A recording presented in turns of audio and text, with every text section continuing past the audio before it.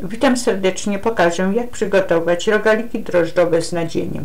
Do przygotowania ciasta będziemy potrzebowali 650 g mąki pszennej, ja użyłam poznańskiej, 120 g cukru, 250 ml letniego mleka, 100 g masła lub margaryny roztopionego, przestudzonego, 2 łyżeczki cukru waniliowego, pół łyżeczki soli, jedno jajko całe, 3 żółtka, 30 g drożdży świeżych, do nadzienia krem czekoladowy, ale można użyć użyć drzemu lub konfitury, białko do pomalowania, rogalików przed pieczeniem, łyżkę mąki do podsypania blatu. Najpierw przygotuję rozczyn. Do miski wkruszam drożdże. Dodaję około jednej łyżeczki cukru, przyspieszy fermentację. Około 50 ml mleka.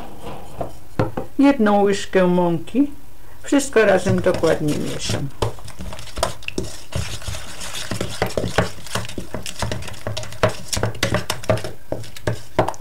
Miskę nakrywam ściereczką i odstawiam w ciepłe miejsce na około 15 minut. Jeżeli w kuchni jest zbyt zimno, możemy wcześniej nagrzać piekarnik do temperatury około 30 stopni, zakręcić ogrzewanie i wtedy wstawić do wyrośnięcia naczynia. Teraz do gotowego rozczynu dodaję pozostałe składniki, cukier, mleko, cukier waniliowy, sól, jajka, mąkę. Wszystko dokładnie mieszam łyżką do połączenia się składników. Gdy się połączą, dodam przestudzony tłuszcz i dalej będę wyrabiała łyżką, aż tłuszcz się wchłonie w ciasto.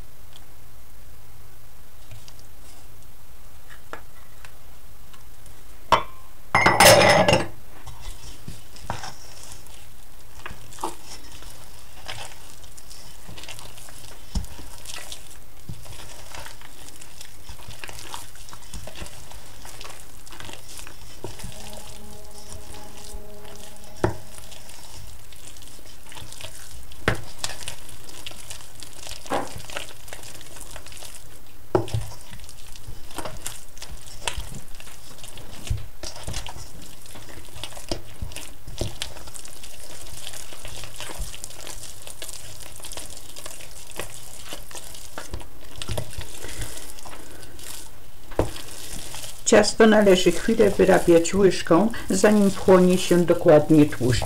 Tłuszcz się wchłonie, ciasto wyłożę na blat lekko podsypany mąką i będę wyrabiała dłonią.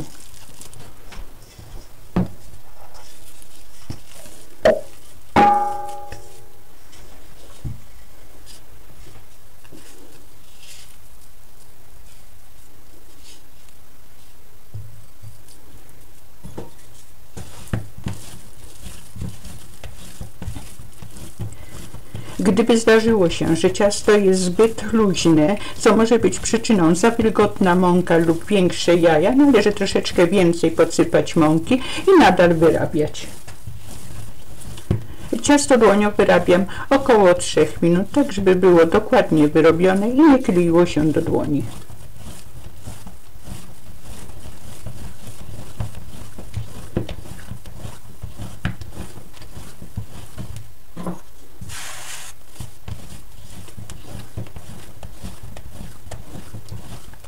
Wyrobione ciasto nie klei się do palców. Wkładam do miski opruszonej mąką.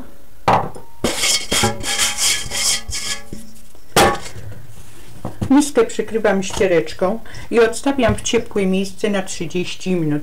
Tak samo jak w przypadku rozczynu, jeżeli w kuchni jest chłodno, możemy wstawić do wcześniej nagrzanego piekarnika do 30 stopni, zakręcić ogrzewanie i pozostawić ciasto do wyrośnięcia.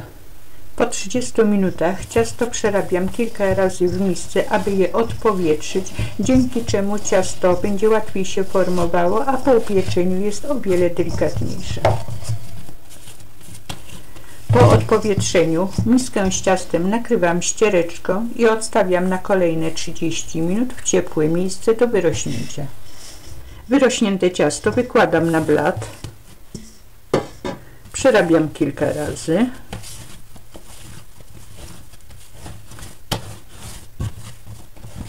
Dzielę na dwa kawałki.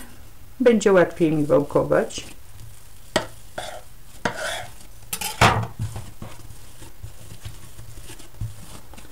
Jeden ponownie wkładam do miski i przykrywam, żeby ciasto nie obsychało.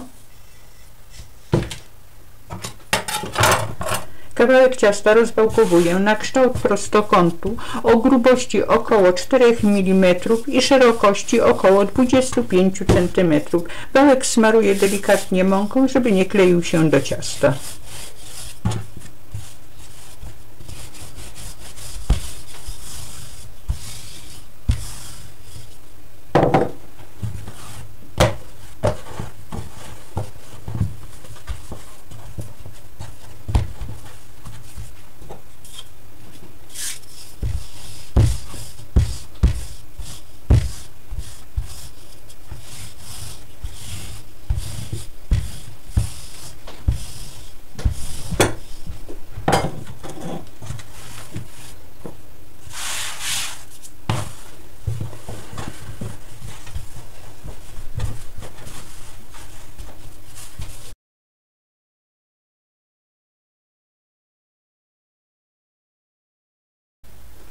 Z tak rozwałkowanego ciasta wycinam trójkąty, z których uformuję rogaliki. Trójkąty można wyciąć radełkiem lub nożem.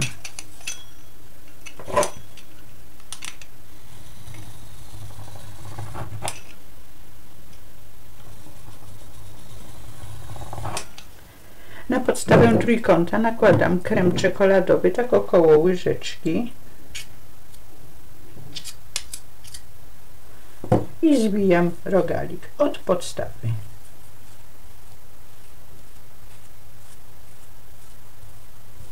Zawijam różki i układam na blasze wyłożonej papierem do pieczenia.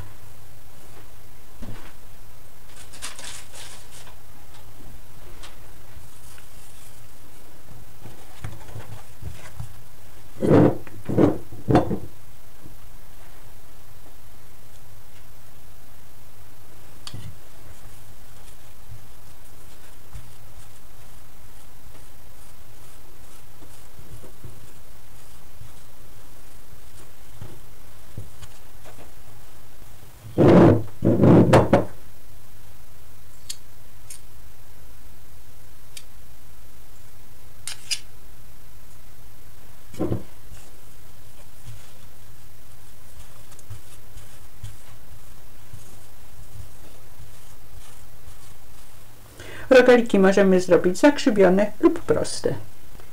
Tak uformowane rogaliki nakrywam ściereczką i odstawiam do wyrośnięcia na około 15 minut. Przed wstawieniem do piekarnika rogaliki maluję roztrzepanym białkiem.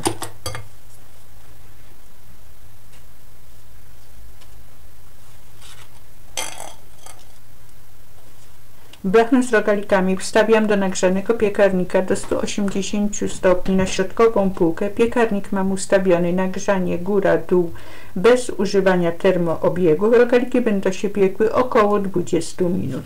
Rogaliki są już gotowe, można się częstować. Z takiej porcji wychodzi około 16 rogalików, w zależności jakiej wielkości zrobimy.